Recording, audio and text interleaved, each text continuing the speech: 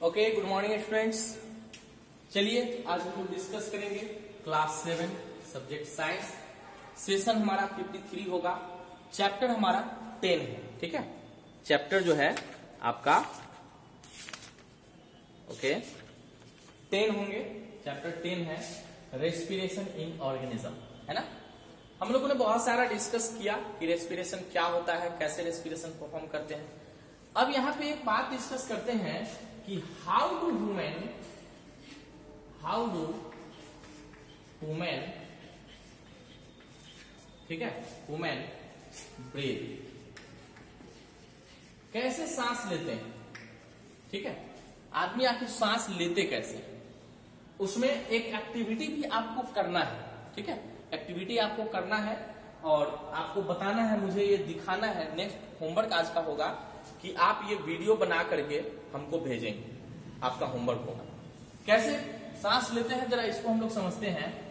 जैसे प्रीवियस हम लोग आप, ये सब चीज़ें आपको बना के मैंने दिखा दिया। ये सब चीज़ बना के आपको मैंने दिखाया है। सभी लोग होमवर्क भी भेजे हैं, बहुत अच्छी बात है। ये होमवर्क भेजा जा चुका है नो प्रॉब्लम ये रफ डायग्राम हम सिर्फ़ बनाते हैं। रफ डायग्राम सिर्फ़ बना रहे हैं, ठीक? रफ डायग्राम सिर्फ़ बनाया। ठीक है? अब देखो।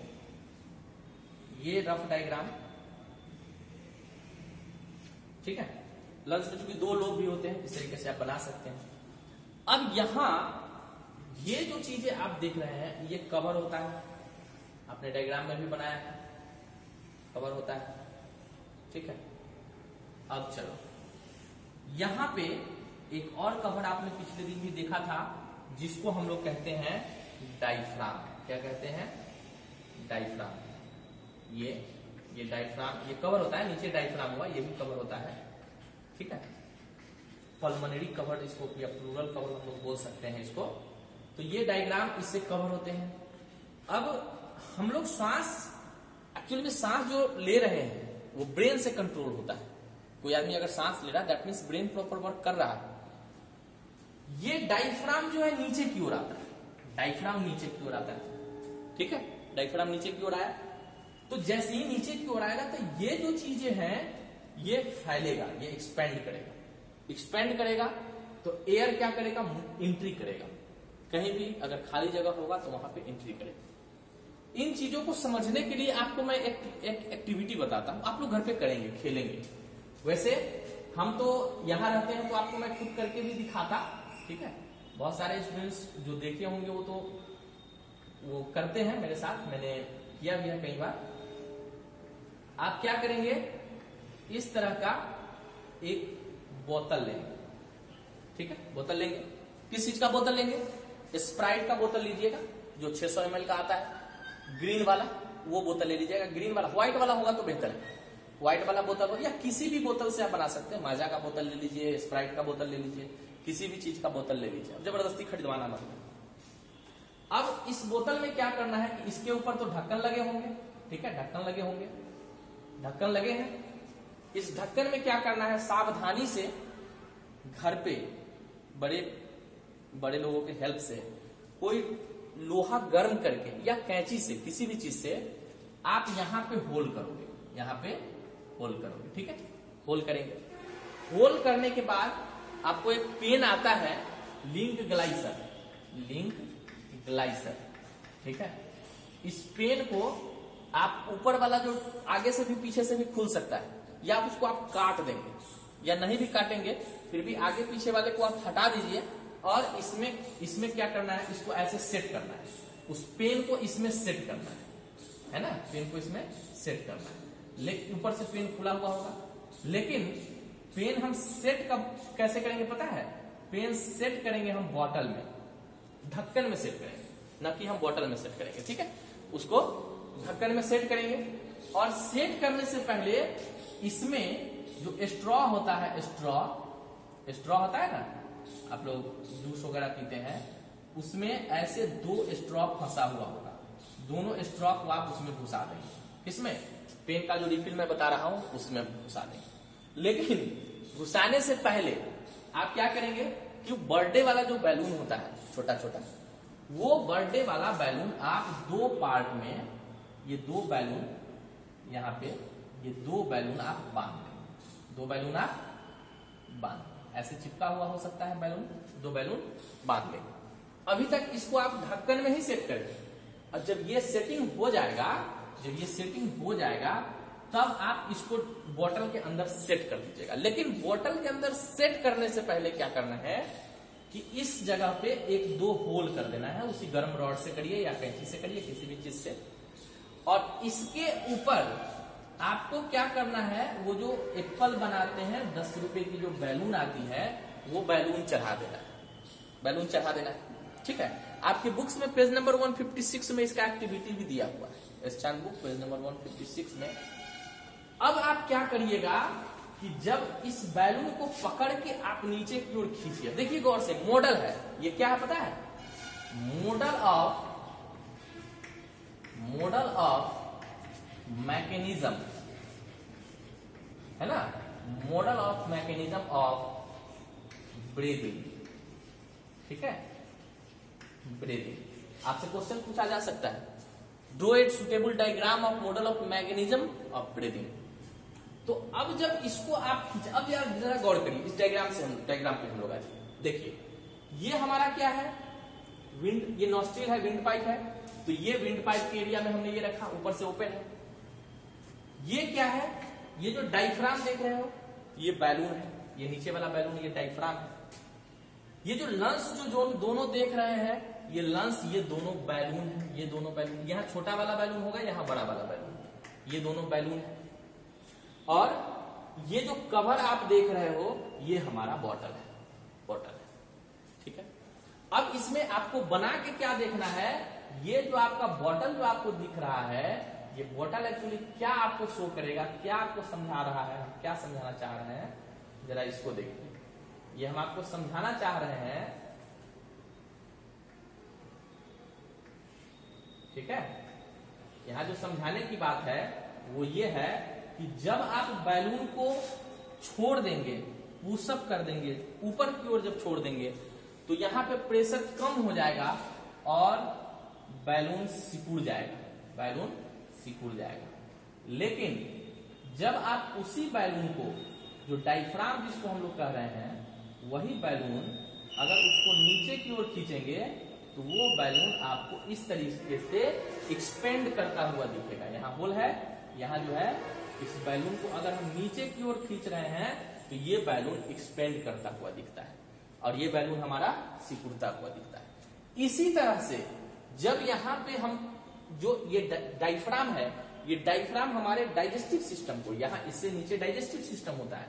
आपने पढ़ा है न्यूट्रिशन चैप्टर में। डाइजेस्टिव सिस्टम में डाइफ्राम को जब नीचे ये जाता है डाइफ्राम नीचे की तरफ़ जाएगा तो ये लंग्स एक्सपेंड करेगा, फैलेगा। और जब एक्सपेंड करेगा तो इसमें एयर आएगा। और एयर आएगा तो यहाँ जो ये मॉडल जो आप देख रहे हैं, इसको आप बना के देखिएगा। ये बना के बताने के बाद आपको हमको इसको वीडियो भेजना है। होमवर्क भेजिएगा। कुछ लोग देखे कॉपी पे नहीं बना के, इसका मॉडल बनाना है बॉटल के साथ। आपको क्या क्या रिक्वायरमेंट होगी देखिए। स्ट्रॉ चाहिए आपको कितना? स्ट्रॉ चाहिए दो को, है ना? पेन चाहिए। पेन चाहिए। उसकी लीड चाहिए सिर्फ़, वो भी वो भी वेस्टेज जो खराब हो गया उसको ले लीजिएगा, है ना? एक चाहिए लिंक का ले लीजिएगा, तीसरा आपको बॉटल चाहिए बॉटल चाहिए, ठीक है? चौथा आपको बैलून चाहिए बैलून चाहिए स्मॉल दो स्मॉल दो और बिग बिग एक कितना चाहिए? इसके बाद क्या चाहिए? आपको थोड़ा सा टेप चाहिए, है ना? टेप इस पे मारने के लिए। या आपको फेविकॉल भी होगा तो फेविकॉल यहाँ अगर मारेंगे आप तो वो ब्लॉक हो जाएगा। मतलब वहाँ से एयर नहीं जाना चाहिए। एकदम सावधानी से इसको बनाया जा सकता है। ठीक है? तो इस तरीके से आप जो mechanism of model of breathing बना सकते हैं, ये आपका बन गया। ठीक है? तो ये इस, ये आपका समझना, समझने में बिल्कुल आसानी होगा कि ये आखिर सांस चलता कैसे है। जब भी डाइफ्राम नीचे आता है तो ये लंग्स एक्सपेंड करते हैं। और जब लंग्स एक्सपेंड करते हैं तो एयर यहाँ से आता है। एयर यहाँ से मूव करता है कहा? लंग्स की तरफ़। इतना समझने में कोई दिक्कत? कोई दिक्कत नहीं। अब जब हम लोग सांस लेते हैं तो क्या होता है वहाँ? इनहेल होता है। इनहेल मतलब सांस का अंदर जाना। और एक होता है सांस का छोड़ना, यानी कि एक्सहेल होता है। सांस का अंदर जाना और सांस का अंदर आना। इनहेल एक्सेल जब हम सांस लेते हैं तो उसमें जो ऑक्सीजन होता है ऑक्सीजन जो होता है, वो होता है 21 परसेंट कितना होता है? 21 परसेंट और जब हम छोड़ते हैं तो उसमें जो ऑक्सीजन होता है ऑक्सीजन होता है, वो होता है 16.4 percent sixteen point four percent that means यहाँ पे ऑक्सीजन एब्जॉर्ब हुआ, वो हमारे बॉडी में चले गए और उसके बदले में कोई दूसरा चीज़ हमारे आया। जब सांस लेते हैं तो उसमें कार्बन डाइऑक्साइड जो होता है कार्बन डाइऑक्साइड जो होते हैं, वो होता है 0.04 परसेंट या 3 परसेंट ऐसे होता है आपके बुक्स में 0.4 परसेंट लिखा है तो 4 परसेंट लेके चलिए। और जब वो वापस आता है तो ये जो कार्बन डाइऑक्साइड यहाँ पे हम फॉर्मूला लिख देते हैं, ये होता है करीब 4.4 परसेंट के आसपास। ठीक है? यहाँ तक कोई दिक्कत? कोई दिक्कत नहीं। और वाटर वेपर अगर आप देखते हैं तो यहाँ पे वाटर वेपर ठीक है? वाटर वेपर लिटिल अमाउंट में होता है। लिटिल अमाउंट बहुत कम होता है। बहुत कम होता है। लेकिन जब वही हमारा एक्सेल होता है तो यहाँ पे वाटर वेपर ठीक है? यहाँ पे वाटर वेपर जो होता है, वो इलॉट ठीक है? इलॉट लिख सकते हैं, बहुत सारा होता है। आप शीशे पे कभी ऐसे करके देखे? ऐसे करके देखे होंगे। तो आपको पता चलता है कि उसमें वाटर वेपर भी रिलीज़ हो रहे हैं। तो यहाँ तक आपने मैकेनिज्म समझा मॉडल समझा, और मॉडल के बाद आपने कैसे कैसे सांस हम लोग लेते हैं उसको हम लोगों ने देखा प्रॉपर हाँ ब्रीदिंग रेट जो है, आपको समझना ज़रूरी है। ब्रीदिंग रेट हमारा, है ना? Rate of rate of breathing rate of breathing देखेंगे तो ये जो होते हैं, एक नॉर्मल एडल्ट में, जो रेस्ट रेस्ट स्टेज में है, वो 16 से लेकर के 18 टाइम्स पर मिनट है ना? पर मिनट का होता है, ठीक है? उसके बाद एक पल्स रेट होता है जो आपको यहाँ इसके साथ जाना है पल्स रेट ठीक है? पल्स रेट जो होते हैं, वो 72 से 80 टाइम्स होता है, एक हेल्दी ठीक है? 80 टाइम्स पर मिनट पर मिनट ठीक है? एक हेल्दी पर्सन के लिए जो रेस्ट स्टेज में है, बैठा हुआ है, अगर कोई दौड़ रहा है तो उसकी रेस्पिरेशन रेट बढ़ेगा, अगर कोई लेटा हुआ है तो उसकी रेस्पिरेशन रेट घटेगी। तो इस तरीके से जब इनहेल करते हैं तो हमारा जो ये थोरेसिक कैविटी है, ये जो कहा है? Where is lungs is situated question where is lungs situated तो उसका आंसर होगा थोरेसिक थोरेसिक कैविटी ठीक है? लंग्स जो एरिया है, उसको थोरेसिक कैविटी कहते हैं। जहाँ स्टमक है, उसको हम लोग एब्डोमिनल कैविटी कहते हैं। तो इस तरीके से लंग्स में जो भी एक विशेष प्रोसेस है, जो आज के वीडियो में प्रॉपर हम लोगों ने देखा, इस इस टॉपिक को आप और अच्छे ढंग से देखिएगा। अच्छा।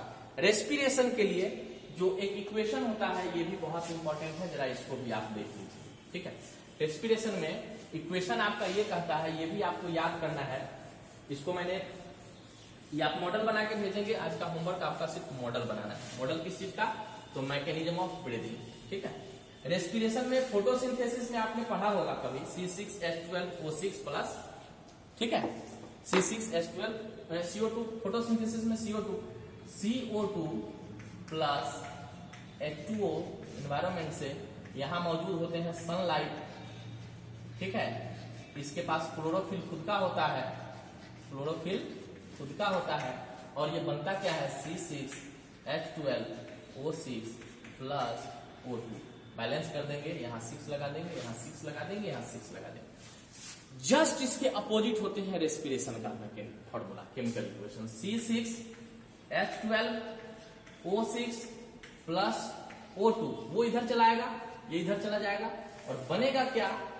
बनेगा CO2 two plus H two O इसको भी बैलेंस कर देंगे, यहाँ सिक्स लगा दीजिए, दीजिएगा O2 होगा यहाँ पे यहाँ पे सिक्स लगा। यहाँ पे एंजाइम्स होते हैं, वहाँ पे खुद का क्लोरोफिल होता है, उसके जस्ट अपोजिट होता है, ठीक है?